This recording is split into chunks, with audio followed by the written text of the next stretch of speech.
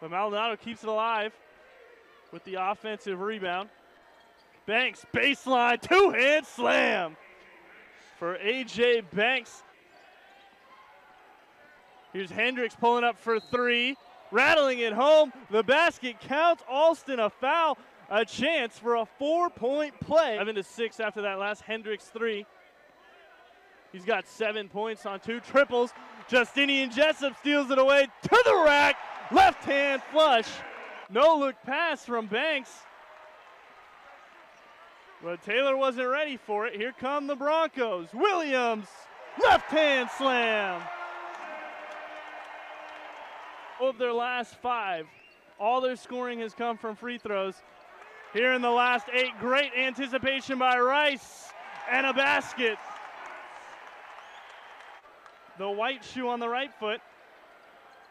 Four seconds. Hobbs, pass Banks, floater. Williams put back to end the half. And he's 0 for 6 from the floor. Maldonado.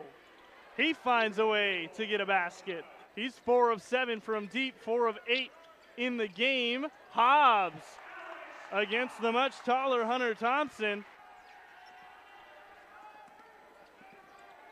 Long inbounds. Here's Banks. And one. A great move from the senior from Vegas through the contact. Hendricks been doing a nice job of carrying the load. Here he loses the ball. Another steal for Boise State. Jessup left hand. Layup is good on the finger roll.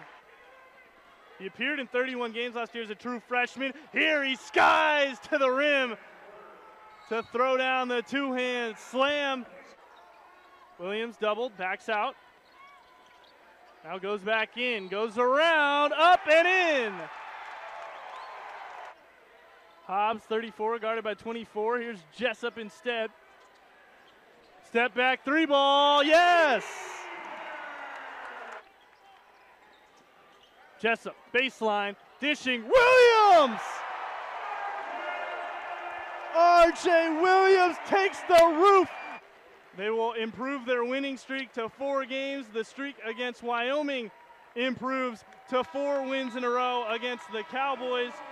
And it's the third straight victory against Wyoming